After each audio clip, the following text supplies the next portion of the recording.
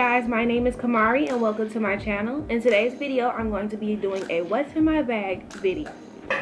So this is my Nanette Lepore bucket bag. And now you guys know I do own the Coach Town bucket bag and I really, really love bucket bags. Now, if I had to choose between the Coach Town bucket bag and this bag, I think I like this bag a little bit better and I'm gonna tell you why. So this bag has an exterior pocket on the back and what I like about this pocket is really wide, so it can fit for many different size phones and it fits the the phone comfortably. Like most bags, they do have like an exterior pocket where you could put miscellaneous things or you could place your phone. But then when you pack the bag up to capacity, it kind of makes it a tight fit for your phone to go in there. But with this bag, it does not do that. Like you can fill this bag up to capacity and your phone still is easy to put in and take out, which is what sold me on this bag. Now, like I said, I do like the exterior pocket on this bag and then I do like the drawstrings on this bag as well. I also like that it does have the logo on here, but it's very minimalistic and it's not in your face. So I really love that about this bag as well. And yeah, now this bag did come with its own strap for it but I decided to use a strap that I actually had for my Coach camera bag.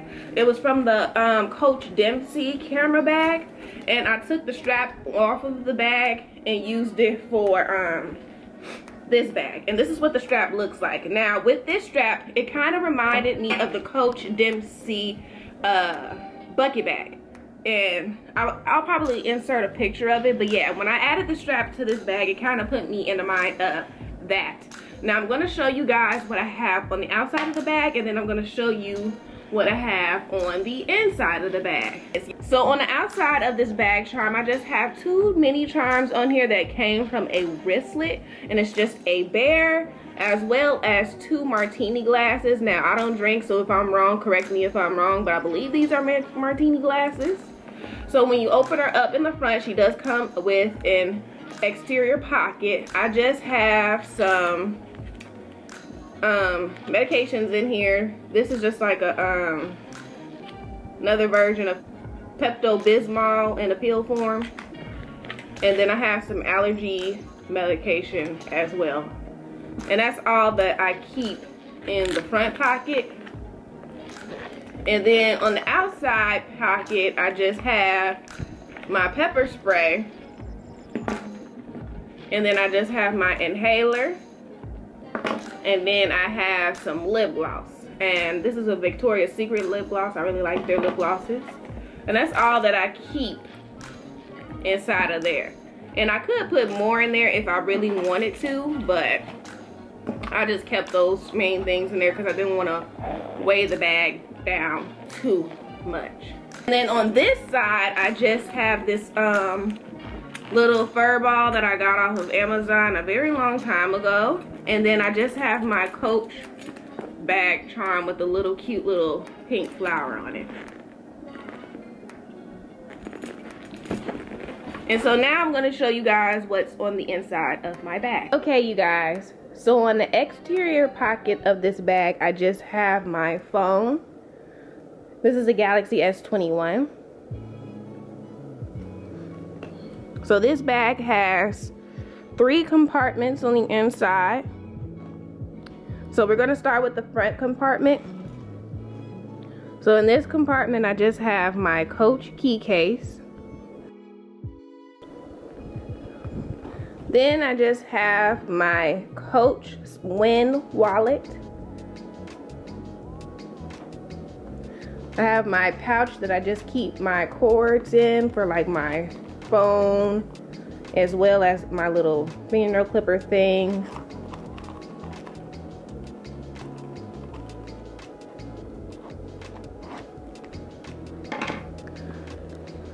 Next, I just keep my Victoria's Secret accordion wallet that I just keep gift cards and reward cards in. Now, in this middle pouch right here, I just have some pads, my oil blotting sheets, my purse hook.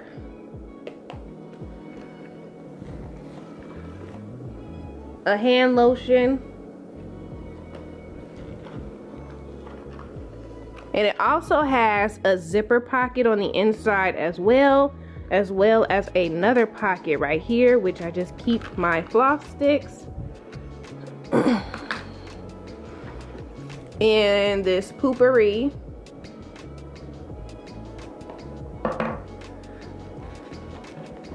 And then I also have a little pink pen in here.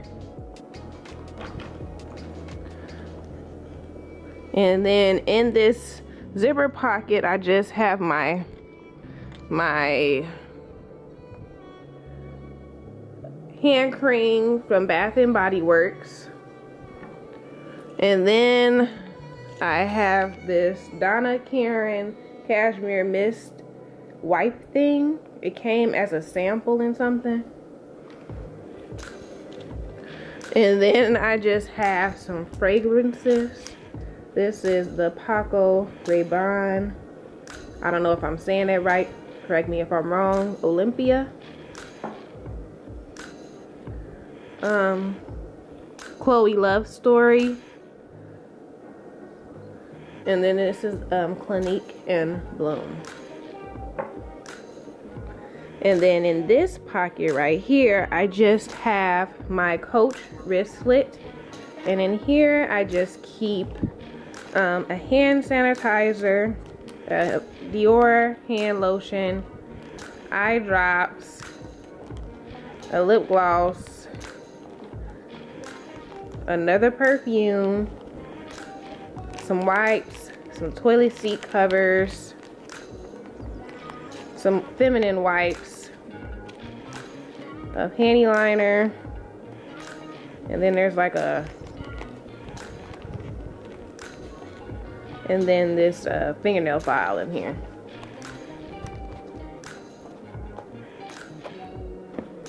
I also have my Galaxy Buds in here. Then I have a pack of tissues in here.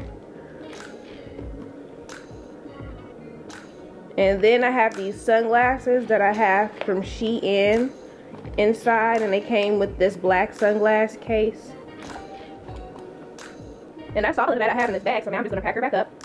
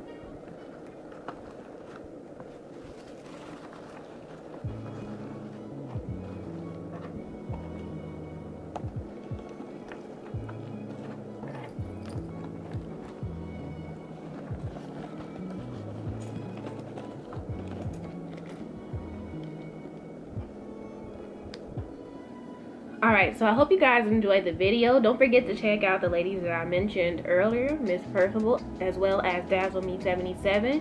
Now, I wanted to chat with you guys before I end this video, so I just wanted to reflect a little bit. So, I wanted to say, because I posted this on Facebook, I do not believe in five-year plans, and I'm going to tell you why. Five years ago, I was homeless, sleeping on an air mattress, staying in someone's kitchen with my two-year-old daughter. Yes, you heard that right. I was homeless, sleeping on some in someone's kitchen on an air mattress with my two-year-old daughter. You're probably wondering, like, how are you homeless sleeping on someone's uh, someone's kitchen on an um air mattress? Um, so five years ago, I was very stressed out. I had gained like 40 pounds in like two, three months because I was emotionally eating because I was in and out of court with my daughter's father because I was trying to get a judge to agree to let me move out of state because I was living in New Jersey and it was kind of not a good neighborhood where we lived in. Then I was struggling to find a job so that I could possibly um, stay but it was not working out for me. And then her father wasn't being cooperative. We ended our relationship because he was abusive towards me. And so that um, that's why I went to a judge because I wanted to make sure I took care of things legally because I'm annoying my daughter's father he probably would have just tried to say I kidnapped her and I was not trying to go that route.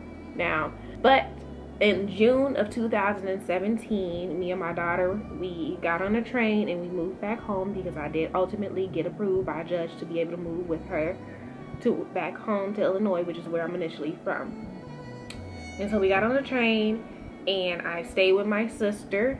And then I believe in fall of that year, I got my first decent job. And in six months, I was able to save enough money to move out. Also, I wanted to mention that I did not know how to drive at that time. I think I was like, what, about 20, 23 or so. So at that time, I didn't have, I know how to drive. I didn't have my license. So in seven months, I learned how to drive because I went to driving school. Then I saved enough money to buy a car and move out into my own apartment with me and my daughter. And I moved into a studio because that was what I could afford at that time. And then also it allowed me the flexibility to save money. Um, so uh, I feel like as a parent, I have sacrificed a lot. And this is not a complaint because I'm happy that I was able to do these things. But um, so I, like I said, I lived in a studio, which allowed me to save money each month, as well as you know pay for all of my bills and whatnot. And I got me a car. I learned how to drive and all those things. And now fast forward to the now fast forward to today um, I'm a homeowner. My daughter is happy. She is healthy and we are, thriving. I finally started that YouTube channel because five years ago, I, have always wanted to do YouTube, but I just never was in the space to do it. But over the years, I have been like slowly like investing in myself by like uh, buy a camera one year, um, a computer the next year, my editing software, things like that. So I bought all of these things over time because ultimately this was my plan for myself to start a YouTube channel and see where it takes me. And I just share this all to say that during those times, those hard times that I had where I was going through all of these things, I didn't have a plan for myself. My plan was just to survive with my baby. Whatever that looked like for me to just get us out of whatever tough situation that we was in, that was my plan. And ultimately, that's what got me through. I just made to make sure that me and that little girl was good. And that's what I made sure that we did. And I just wanted to say that to say that there's like there there's a blessing and a lesson in my story. And hopefully if anybody is like struggling or going through something right now just know that there is a rainbow at the end of the storm. Like it's just because something bad is happening to you right now doesn't mean that it's going to happen to you forever. And and don't think that it's that it's not possible for something good to happen to you because it's definitely possible. It definitely is. And i think that the story that I shared with you all is going to teach you that. And I had to learn that over the years. Even right now, I'm going through my little things right now, but I had to remind myself this time right now is reminding me like, girl, five years ago, you were stressed out. Like, you were going through it. I don't even know how I survived all of that. I'm, so, I'm grateful that I wasn't suffering from depression either because that was a very tough time for me, but I, I overcame that and now I am doing much better today. Even though I still got my struggles, it's not, I'd rather be take today's struggle than the struggles that I had five years ago, cause baby, man. And hopefully one day I can just go into depth about that story because there's a lot of bullshit in that story that comes along with that. Oh, man, it's a lot of bullshit, but, and I learned so much over the years, so much. I, I, I feel like having a kid at a young age definitely taught me so many things that I'm grateful that I have learned. So I hope you guys enjoyed this video. Don't forget to like, comment, and subscribe. And I'll see you in the next one. Bye.